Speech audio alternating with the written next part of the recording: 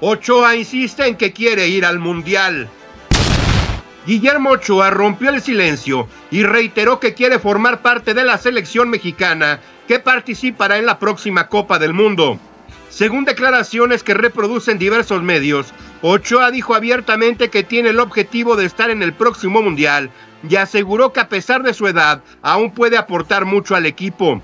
El problema para Ochoa es que ya cuenta con 39 años de edad y es claro que sus condiciones han ido a menos, tan es así que le costó trabajo encontrar un nuevo equipo.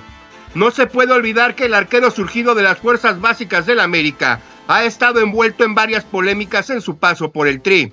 El Tuca Ferretti, por ejemplo, reveló que a Ochoa lo han impuesto los patrocinadores, mientras que la Volpe confesó que a pesar de que a su consideración Chuy Corona era mejor, a Memo se le daba prioridad por ser americanista. No solo eso, el Chepo de la Torre confesó que Ochoa exigía la titularidad, si no, prefería no ser convocado. A eso se suma que ha recibido más de mil goles en su carrera y que ha descendido con varios equipos en Europa.